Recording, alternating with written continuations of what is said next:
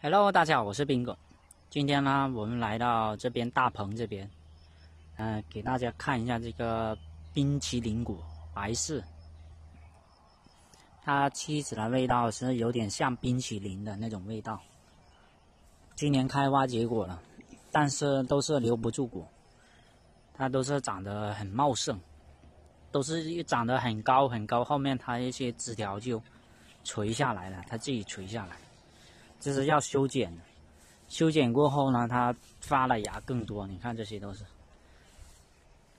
这些就是当初我之前是拿那些绳子把它拉下来的，后面它又长了两三条这种这种枝条，所以种白是最好还是要拉拉下来或者修剪，这样它长得更茂盛更多。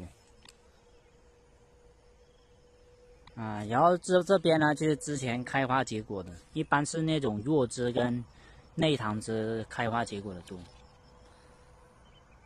本来是这里结了很多果了，这里全部落完果了，从跟这个小指一样大的全部落完果了，不知道什么原因。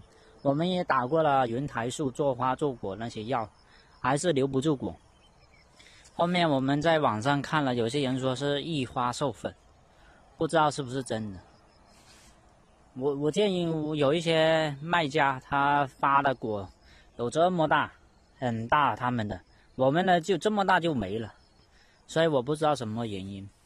啊，如果各位各位有这方面的经验的话，可以在下方评论了。反正我这边是留不住果了，我就想问一下，请教一下这个怎么留得住果？因为今年开花是是第一年开花，他们是前年种的，已经有三年了。